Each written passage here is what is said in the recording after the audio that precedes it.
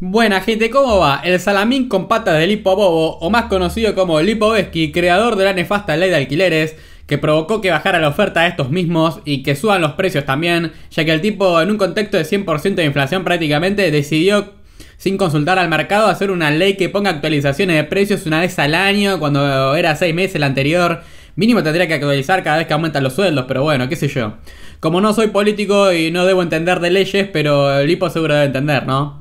Pero bueno, no solo hay que echarle la culpa al salame gatero este, sino que también hay que culpar a la falsa oposición que lo votó y también al kirchnerismo. Y dicho sea de paso, este pusilánime es de Cambiemos, kirchneristas de buenos modales como decía Spert antes de aceptar los valijones del siniestro.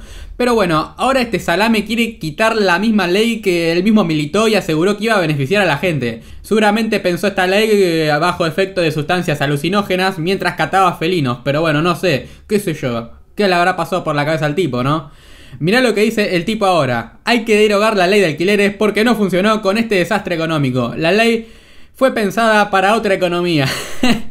Dios, qué payaso que Por eso el gobierno, en lugar de suspenderla, tiene que instruir a sus diputados a votar urgente el dictamen del bloque de Juntos por el Cambio que plantea su derogación. Pero esto es una mentira porque la oposición no quiere derogarla, cuando el gobierno sí la quiere sacar. Al final los casos más oposición que esta, ¿eh? No sé si la van a cambiar por algo peor, pero bueno.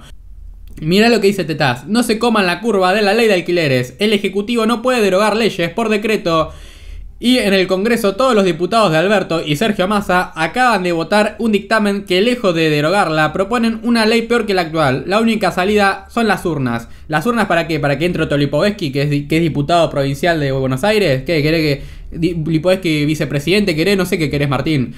Obviamente este tweet del Hipobobo tuvo una gran repercusión y más de 3.000 personas lo llenaron de insultos, uno más guarango que el otro. Pero se merece peores insultos este tipo. Puede ser que sea candidato de Bullrich en La Plata el tipo este o algo por el estilo.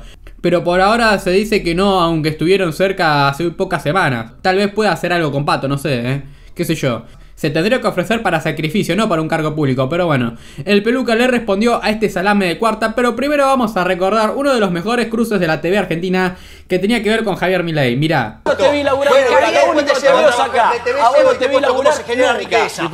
Parásito. Tranquilo. Parásito. te vi laburar la política, inútil. Nunca te vi laburar. Lo único que haces es criticar en los programas. política, inútil. Es fácil criticar sin involucrarse. Lo que tiene que hacer él, si critica tanto, es que se involucre. Eso dijo que Cristina Kirchner, que, que forme un partido y que ganen las elecciones. ¿Cómo se lo extraña Milei ultra sacado, eh?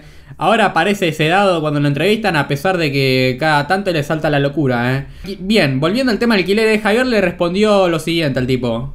Cara de piedra, lo bueno es que en el tweet deja en claro que no solo no entendió el error, sino que además muestra su miseria ya que se justifica culpando a otros, confirma que es un bruto sin retorno.